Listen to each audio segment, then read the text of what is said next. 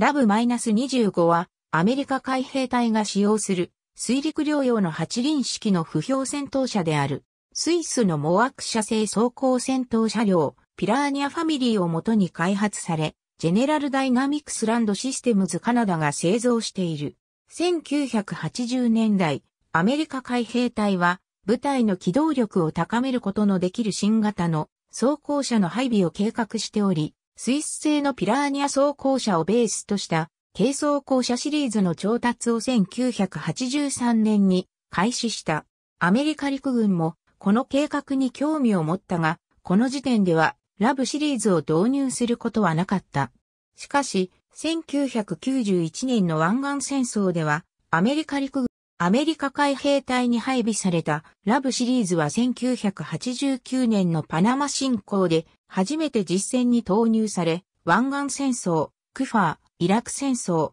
アフガニスタン紛争など、アメリカ海兵隊の派遣された多くの軍事作戦に投入されている。アメリカ海兵隊の軽装高偵察大隊には、56両のラブ -25、16両のラブ AT、12両のラブ L、8両のラブ M、4両のラブ R、4両のラブ C2、及び少数のラブミュースが配備される。アメリカ陸軍は湾岸戦争以降ラブ -25 シリーズの運用は行っていなかったが、2018年10月26日より、アメリカ陸軍第68機構連隊第4、大隊アルファ中隊が、ラブ -25A2 を運用する部隊として再編成され、第82空挺師団第1旅団戦闘団の指揮下に入ったことが報じられた。ラブ -25 は水陸両用車であり、水上の最大速度は約時速 12km である。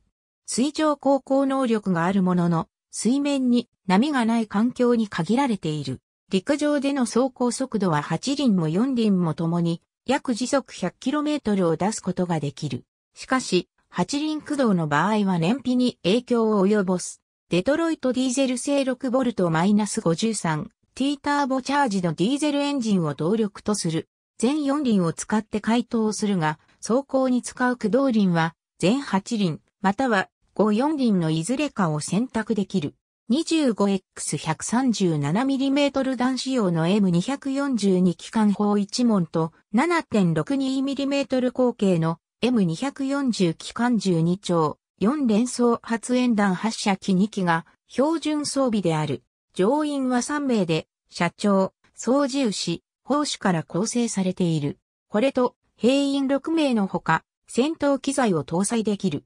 1990年代後半から、スレップ回収の回収計画が進行している。心臓の改良型車とスレップ回収を受けたラブ -25 は、ラブ -25A1 へと名称を変えた。また、ラブ -25A2 へ発展させるため、ラブファミリーの継続的なアップグレードに必要な資金提供が承認された。アップグレードの第一段階は、車体内外の走行強化、火力制圧装備、サスペンションの改善などである。第二段階のラブ -25A2 では、油圧で旋回させていた砲塔の動力を電動駆動に入れ替え、火器完成装置の赤外線カメラがレーザー測距儀に変更された。2019年1月には第3段階となるラブ A3 仕様への回収プログラムの契約が GDLS との間で締結された。この回収にはパワーパックの回収、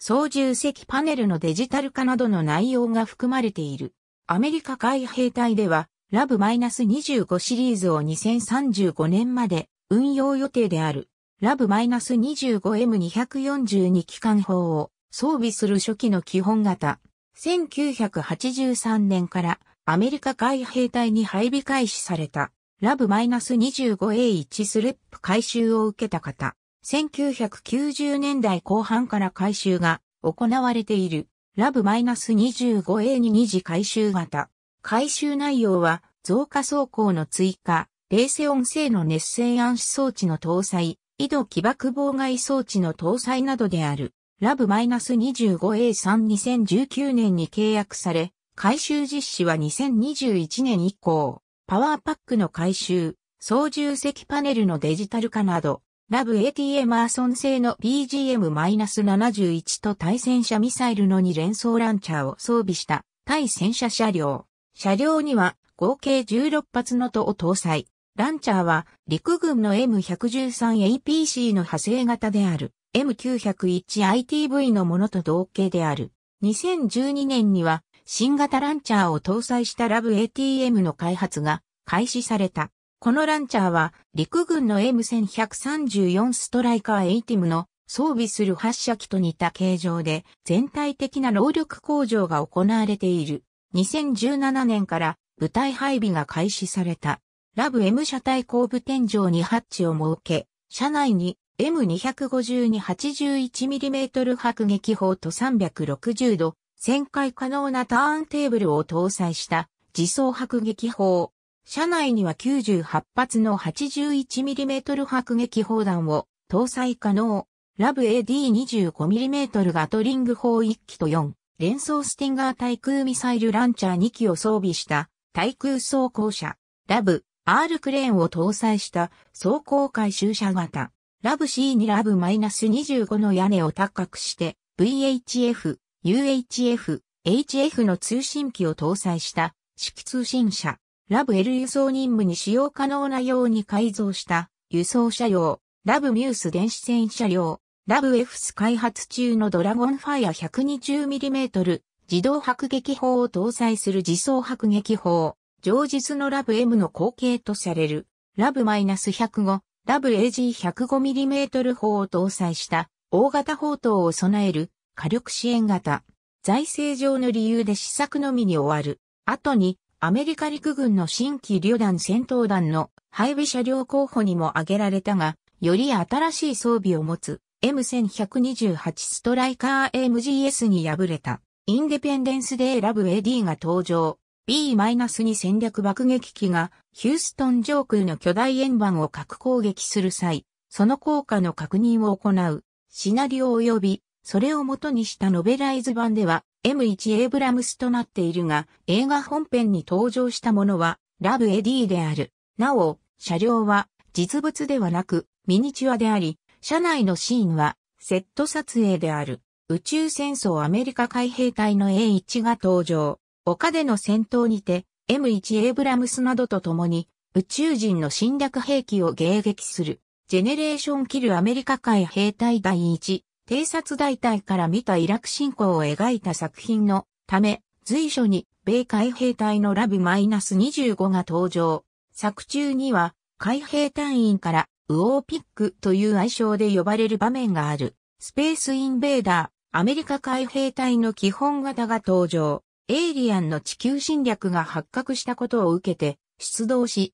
エイリアンの秘密基地がある丘を包囲する。世界侵略、ロサンゼルス決戦アメリカ海兵隊の A2 が登場。中盤にて、主人公たちが乗り込んで、M1044 ハンビーと共に侵略軍のバリケードを突破する。ハートブレイクリッチ勝利の戦場アメリカ海兵隊の基本型が登場。演習場内を走行している。続、戦国自衛隊戦国時代にタイムスリップしたアメリカ海兵隊の装備として基本型ラブ M ラブ C2 が登場。関ヶ原の戦いと大阪の陣に投入され、同様にタイムスリップしてきた自衛隊などと激しい戦闘を繰り広げる。アルマにプレイヤーや AI が操作し、浮行することも可能。ジャストコーズ、バラードシリーズアーマードビアケルズの名称で登場する。戦車砲搭載型12連装ロケットランチャー搭載型ズ -23 から2搭載型の3種類が